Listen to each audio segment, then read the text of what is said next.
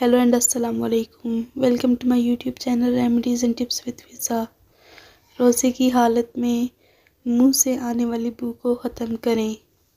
रमज़ान मुबारक के दौरान अक्सर रोज़ेदार के मुँह से खाने की बू आती है।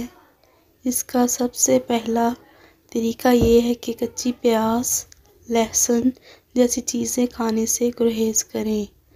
सहरी और अफ्तार के बाद ब्रश या मसवाक करें और इन्हें ज़ुबान के ऊपर भी अच्छी तरह रगड़ें ताकि बदबू पैदा करने वाले बैक्टीरिया ख़त्म हों।